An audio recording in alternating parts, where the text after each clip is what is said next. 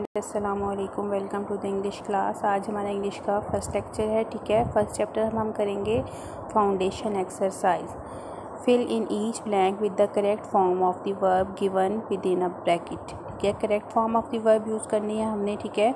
She dash a letter to her mother yesterday she dash a letter उसने ख़त लिखा to her mother अपनी माँ को यस्टरडे कल। अब कल की बात हो रही है पास्ट की बात हो रही है, ठीक है?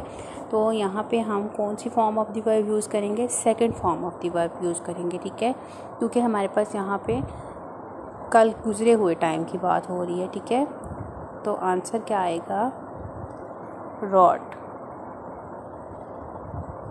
फ़र्स्ट है, अब नेक्स्ट देखते हैं हम। She dash to school by bus yesterday she second form of the verb use करनी है। यहाँ पे भी हमने येस्टरडे कल की बात हो रही है। She went to school they dash a newspaper every day every day they got a newspaper every day he always dash his hand before eating his food वो हमेशा अपने खाने खाने के बाद अपने हाथ वॉश करता है तो वॉश आएगा। ठीक है?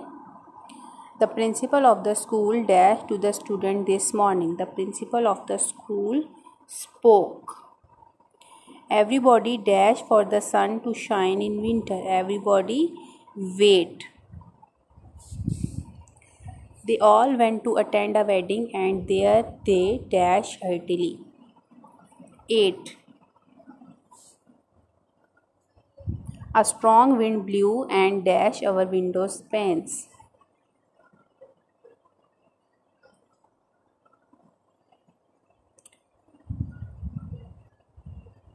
Broke.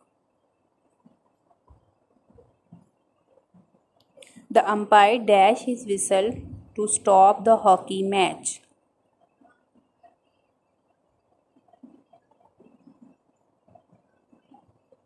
Blow.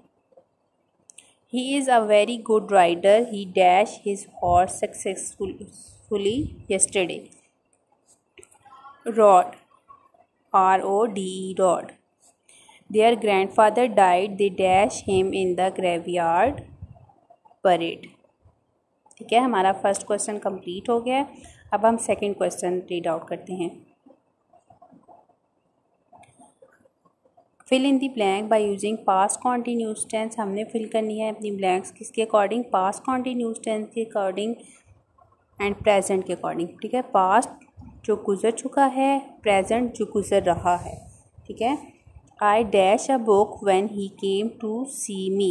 I, अब पास्ट कॉन्टीन्यूस टेंस की बात हो रही है। I was reading a book when he came to send me second है they dash home when the accident occurred अब यहाँ पे क्या यूज़ होगा?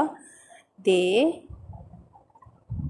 was coming home when the accident occurred they was coming ठीक है? Third form of verb use होगी।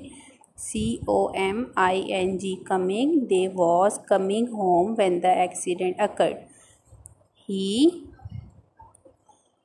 he next है he dash football while I was playing hockey he was playing football while I was playing hockey he was playing लगेगा, यहाँ पे आएगा, ठीक है?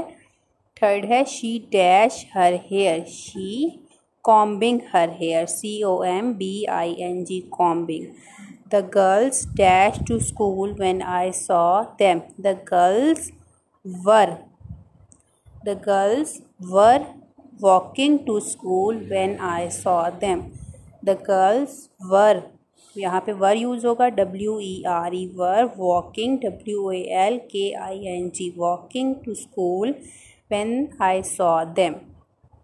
Second question हमारा यहाँ पे कंप्लीट हो गया है